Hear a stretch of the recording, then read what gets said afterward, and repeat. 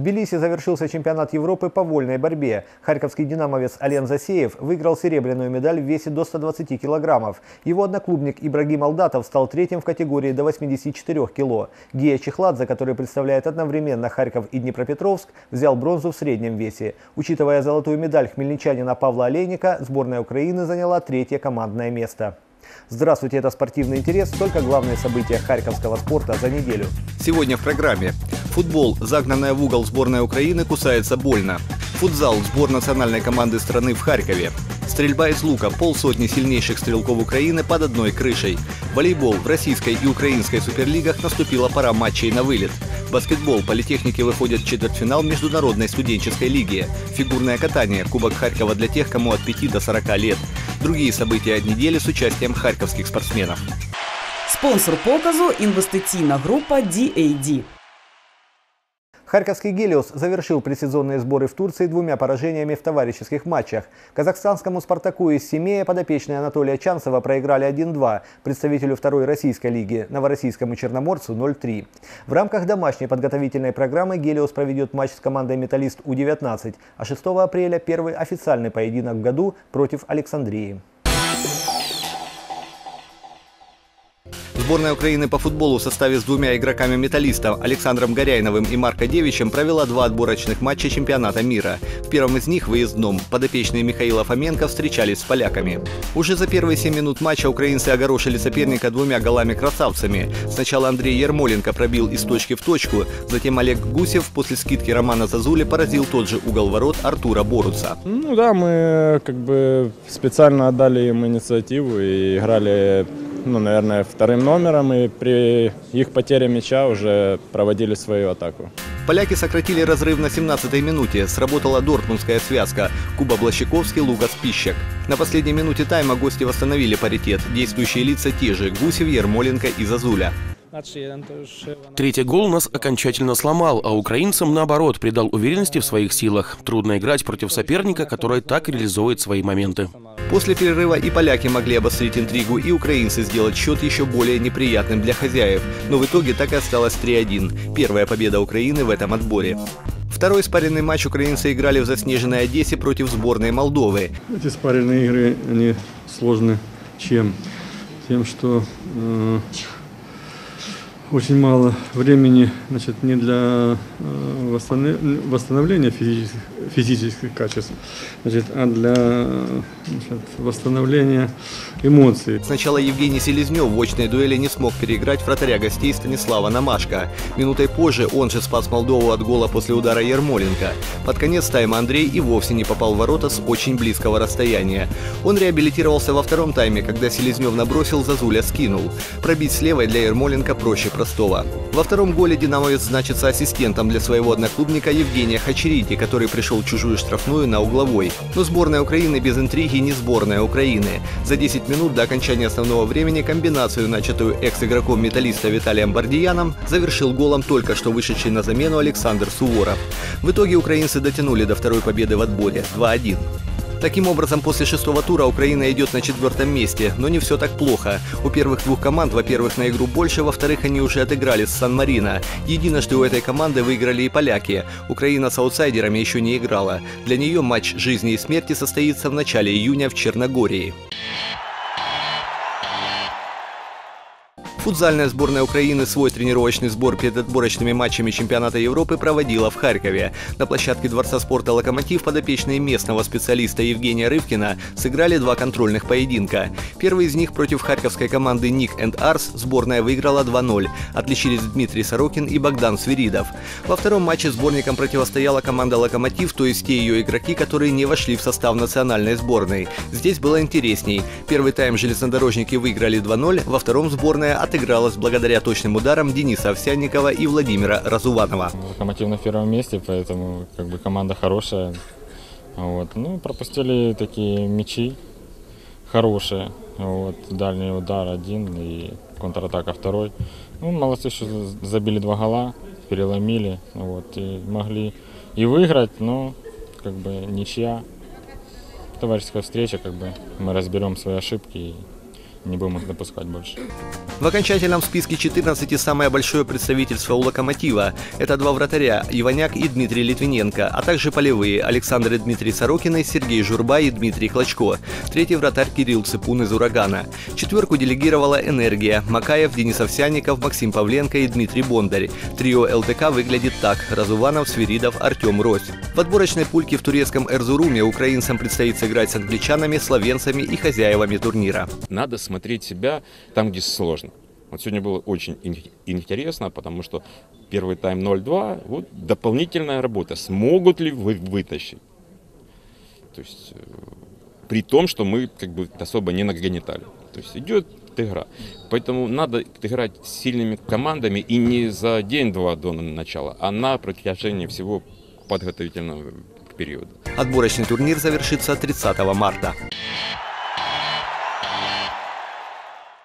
В домашней части четвертьфинального поединка Всемирной серии бокса украинские атаманы одержали сухую победу над бакинскими огнями из Азербайджана. Харьковчанин Александр Гвоздик в четвертом поединке нокаутировал коронным боковым ударом левой молдавского легионера азербайджанской команды Владимира Челиса. Ответный матч в гостях украинцы проведут 30 марта.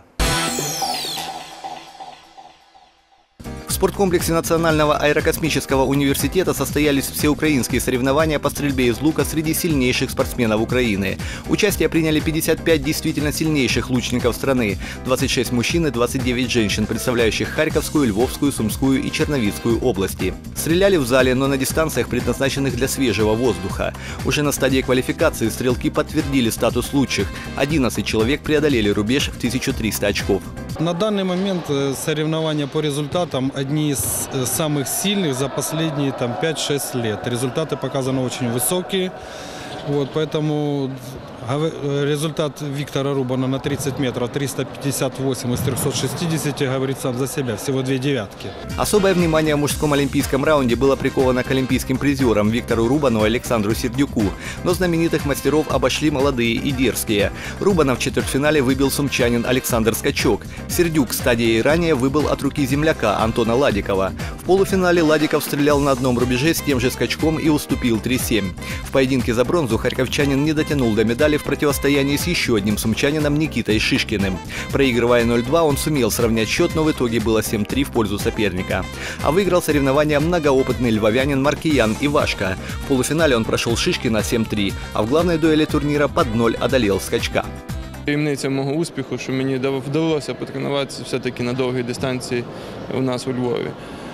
Тому для мене це не було ново, скажімо. Багато більшість людей, які сюди приїхали, не мали такої можливості. і Приїхали тільки тут перший раз, спробували 70 метрів. В женском турнире состязалась в полном составе сборная Украины, которая недавно выиграла командный чемпионат Европы в помещении. Это харьковчанка Виктория Коваль, львовянка Екатерина Полеха и Лидия Сеченникова из Черновцов. В четвертьфинале как раз сошлись Коваль с Полехой, и последняя выиграла. Виктория в итоге заняла пятое место. В полуфинале Полеха проигрывала по ходу стрельбы Ирине Семеновой из Черновцов 3-5, но сумела не только догнать соперницу, но победить ее в перестрелке. В другом полуфинале Сеченниковой противостояла харьковчанка Татьяна Бережная, которая готовится стать мамой. Начиная со счета 3-1, Татьяна выиграла еще две серии с разницей в 2 очка и вышла в финал. Лучшие подруги за рубежом для стрельбы Бережная и Полеха сошлись в главном поединке женского турнира. Но спортивной интриги не получилось. Харьковчанка сделала соперницу в сухую 6-0. Причем стреляла Татьяна не просто точно, но еще и очень быстро. Нет ветра, нет дождя, условия позволяют, почему же заранее закладывать в себя неуверенность. Надо сразу начинать с уверенности. Поэтому я так стараюсь. С конца марта в Киеве сильнейшие украинские лучники проведут тренировочный сбор, на котором окончательно определится состав для участия в Гран-при Европы и Кубке мира. Спонсор показу інвестиційна група DAD. 14-й тур высшей украинской волейбольной лиги «Харьковский локомотив «Надежда» проводил во Львове против команды «Барком». Обе встречи остались за хозяевами 3-0 и 3-1. Таким образом, подопечные Анатолия Янущика остались на четвертом месте, у них 43 очка. У лидера Днепра 59 пунктов, между ними «Барком» и «Химпром Сумгу». В заключительном туре регулярного чемпионата открытой российской суперлиги по волейболу Харьковский локомотив принимал «Искру» из подмосковного Одинцова. В прошлом сезоне гости шли неизменно в лидерах турнира. В нынешнем боролись за четвертое место в красной группе. Хозяева же за результат особо не переживали, их шестая позиция была незыблема. Заслуживали где-то в каких-то играх э, набирать больше очков. Ну, поскольку так уже сложилось, я же говорю, задача минимум выполнена, а дальше, я же говорю, дальше посмотрим. Отстаивать турнирные права одинцовцы стали с первой партии. И если при счете 23-18 в их пользу еще можно было подумать, что харьковчане зацепятся за сет, то развитие событий показало, что это невозможно. 25-20. Второй отрезок гости вновь начали лучше, уйдя на первый техперерыв ведущими в три пункта. Но далее подопечные Юрия Филиппова собрались силами моральными и физическими и рванули вперед так, что не достать. Получилось 25-17 в пользу локомотива. Самой острой получилась третья партия. В ее концовке при счете 22-21 в пользу хозяев Денис Калинин сначала сделал эйс, а после паузы, взятой Филипповым, ударил с подачи в сетку. Равный счет продержался до формата больше-меньше, в котором лучше сыграли гости 28-26. А в четвертом сете борьбы не получилось. Его «Искра» взяла 25-17 и выиграла матч со счетом 3-1. Единственная радость харьковчан в том, что Сергей Тютлин забил 31 очко и перекрыл рубеж в 500 пунктов за чемпионат. На фоне физической усталости команда все-таки отыграла очень много и чемпионат Украины, и Еврокубки, и чемпионат России. Просто, может, подустали все из-за этого. Ну, задачу выполнили на сезон, которая была поставлена. Вот дальше будем бороться за продолжение в плей-оффе. В 1-8 финала соперником «Локомотива» будет уфимский «Урал», который занял третье место в синей группе. Игры плей-офф пройдут в начале апреля. В украинской волейбольной суперлиге началась пора игр на выбывание. Первый полуфиналист определялся в паре одноклубников – Лока-Экспресс «Локомотив». Первый матч проходил в день рождения главного тренера старшей команды Юрия Филиппова, и подопечные постарались не огорчить наставника. Впрочем, сделать это было просто. К сожалению, для игроков «Экспресса» их уровень мастерства, а главное командной игры, пока не дотягивает даже до национальной суперлиги. А ведь в этом коллективе играют сверстники исполнителей из основной команды Сергея Тютлина, Яна Ерещенко и Дмитрия Теременко. Кстати, Либера «Экспресса» Филипп Гармаш и центральный блокирующий Максим Дрозд также заявлены в чемпионате России за первый «Локомотив». В рамках национального первенства они имеют право играть только за вторую клубную команду. Впрочем, и это усиление подопечным Игоря Зяблицева не помогло. Первую игру «Локомотив» выиграл в сухую, по партиям два раза по 18 и 21. Ребята молодые, перспективные, все стараются. Диагональные доигровщики, хорошо, в принципе, сыграли, много от рук подбивали, от блоков. Играют, скажем так, показывают результат. В первом сете повторного матча, который по согласованию сторон проводился уже на следующий день, экспрессовцы, что называется, уперлись и довели игру до больше-меньше, но там проиграли 25-27.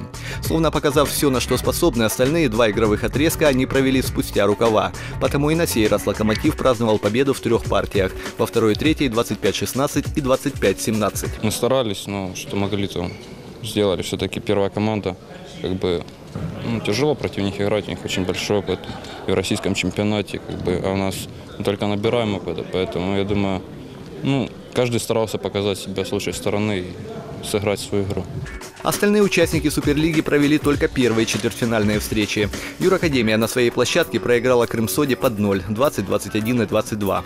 Черниговский буревестник харьковского специалиста Николая Благодарного неожиданно легко справился с Химпромом под руководством еще одного харьковчанина Николая Посажина 3-0. Винницкий аграрный университет дома уступил фавориту в пяти сетах.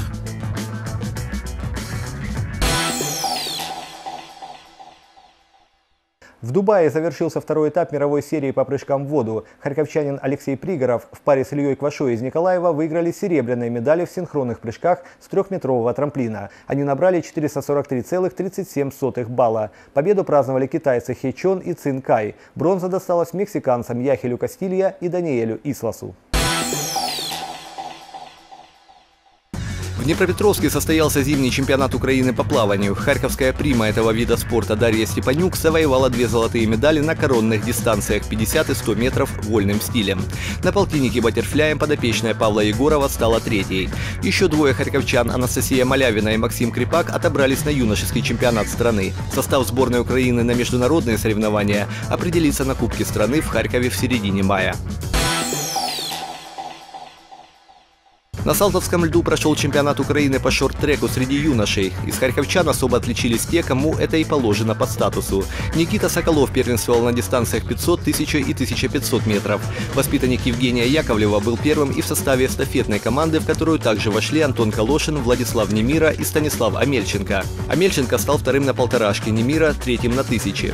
В девичьих забегах Мария Долгополова добыла 4 серебряные медали. Подопечная Виталия Сивака была второй на трех индивидуальных дистанциях и в составе эстафетной сборной Харькова и Киева. В обеих эстафетных дисциплинах вторые команды Харькова завоевали бронзовые медали. Там же на Салтовском льду состоялся третий этап Кубка Харькова по фигурному катанию. Соревнования объединили выступления и любителей, и профессиональных фигуристов. Помимо возрастных категорий, они состязались по трем программам, условно названным «Золото», «Серебро» и «Бронза». Отличия в количестве и сложности элементов. Кроме представителей ведущих украинских школ Харькова, Киева, Днепропетровска и Одессы, впервые в подобном турнире принимали участие спортсмены из Кировограда, Калуша, Херсона и Севастополя. Всего 116 фигуристов. Для Кубка Харькова это рекорд. Сегодняшний день я считаю, что харьковские соревнования самые лучшие. По крайней мере, они самые объективные. Атмосфера очень дружелюбная. Могу сказать, что на сегодняшний день Харьков лидер. Харьковская школа оправдала возложенные на нее надежды. Хозяева льда 20 раз поднимались на высшую ступень пьедестала. Это не считая множества серебряных и бронзовых наград. Если брать только самые сложные программы в номинации «Золото», то здесь первенствовали Дарина Убейконь, Иванна Рослик и Юлия Чайкина. В категории мастеров не было равных Таисии Списивцевой и Егору Хлудееву. По большому счету заниматься фигурным катанием можно и без соревновательной программы и острого судейского взгляда, но с ними и полезней, и интересней. Во-первых, э, закаляет дух прежде всего человека. Во-вторых, ревноваться нужно, чтобы понимать, ты достиг чего-то или нет, какого-то уровня. Повысился твой уровень или не повысился. Только соревнования могут сказать, так как на тренировке дети выполняют э, более сложные элементы, а э, в программу мы выставляем только то, что ну, работает стабильно.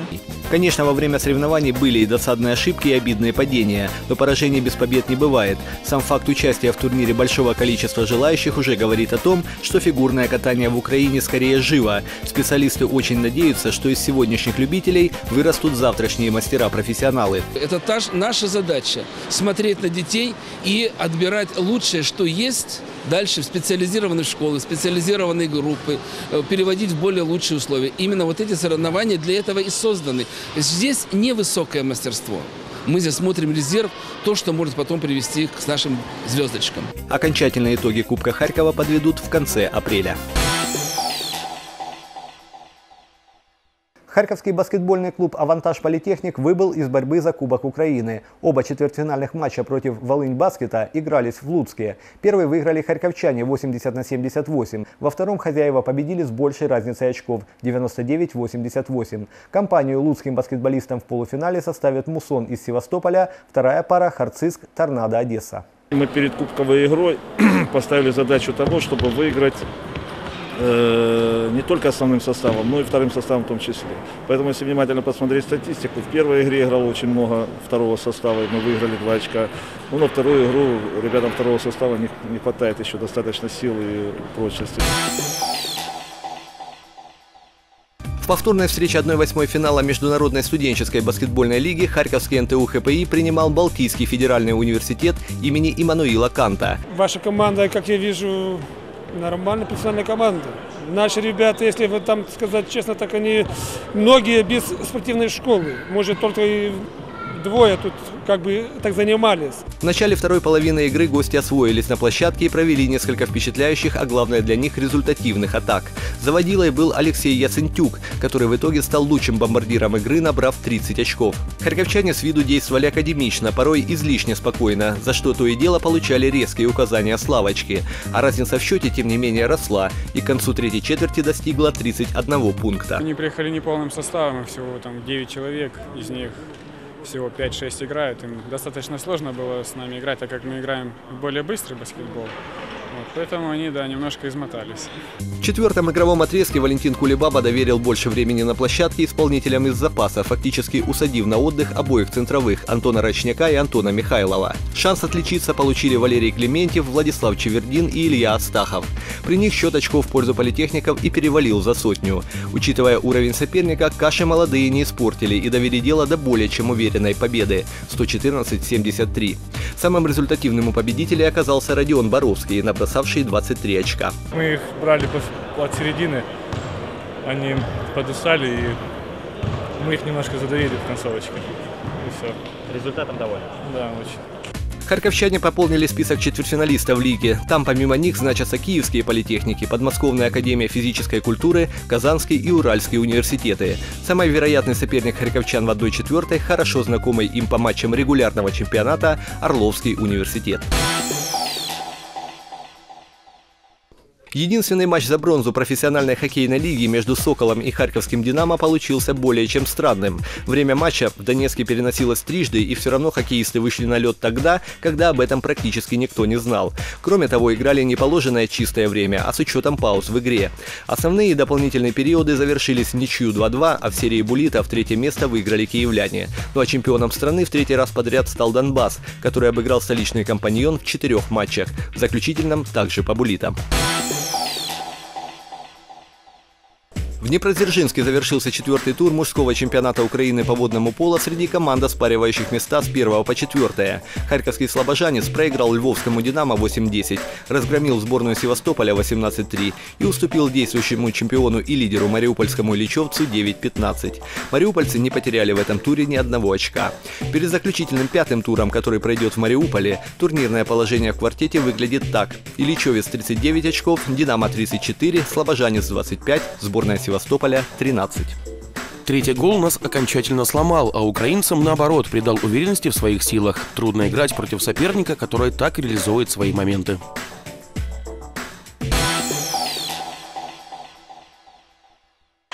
Спонсор показу інвестиційна група DAD. В Луцке завершился чемпионат Украины под дзюдо среди юниоров. Единственное золото для Харькова в женской категории до 63 килограммов выиграла Анастасия Шевченко. Помимо этого на счету харьковских борцов по три серебряные и бронзовые награды. В командном зачете это четвертое место. На этом все. Спасибо, что смотрите нас. Спортивного вам здоровья. Все остальное приложится.